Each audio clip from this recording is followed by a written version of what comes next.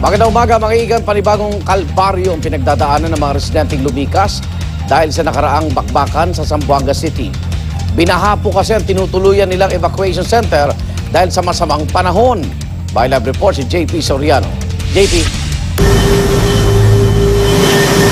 Arnold, dahil nga sa nangyari nga pag-uulan itong Sabado at Linggo sa Zamboanga City ay binaha ang ilang barangay dito, lalo na yung mga evacuation centers kung uh, sa naroon ang ating mga kababayang uh, evacuees. Kaya naman na labis yung uh, paghihirap na ramdaman nila nitong mga nakarang araw. At uh, Arnold, ngayong umaga ay uh, muli na namang umulan dito sa Zamboanga City. Bagamat uh, nitong nakalipas na magdamag ay uh, talagang uh, tumigil na at tumila ng pag-ulan. Ngayong umaga ay uh, bago tayo mag-report ay muli na namang umulan kaya inaasang uh, maapektuhan na naman yung mga daan da o daang libong evacuees na naroon sa mga pinakamalaking evacuation centers ito sa Zamboanga City. Uh, inanunsyo naman ng binuong Crisis Management Committee sa Zamboanga na ngayong araw ay balik eskwela na ang mga kolehiyo at universidad na nasa RT Lim Boulevard hanggang Baliwasan.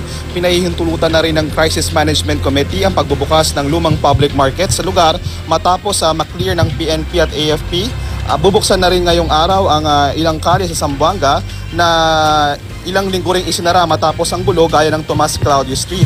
Dahil naman sa sama ng panahon nitong weekend sa Zamboanga City, tinigil muna ang clearing operation sa mga barangay na sinalakay noon ayon sa Zamboanga City Police. At uh, kapapasok lang na balita ayon sa Zamboanga City Police, maaari nang bumalik sa kanilang tahanan at lugar na pinanggalingan ang mga residente mula sa Arena Blanco, Mampang, at talon-talon malibang na lang yung mga nakatira doon sa mga tinatawag na mangrove areas. Uh, ito rin yung mga barangays na naapektuhan o naging uh, areas of conflict nitong nakaraang linggo. Uh, samantala mamayang hapon inaasahang isasampa na ng Zamboanga City Prosecutor's Office ang kasong rebellion laban kay MNLF Founding Chair Nur Miswari sa Zamboanga Hall of Justice kaugnay sa umano'y pagsalakay ng MNLF Miswari faction sa Zamboanga City. At yan muna ang latest mula sa Zamboanga City. Balik muna sa iyo Arnold. Maraming salamat JP Soriano.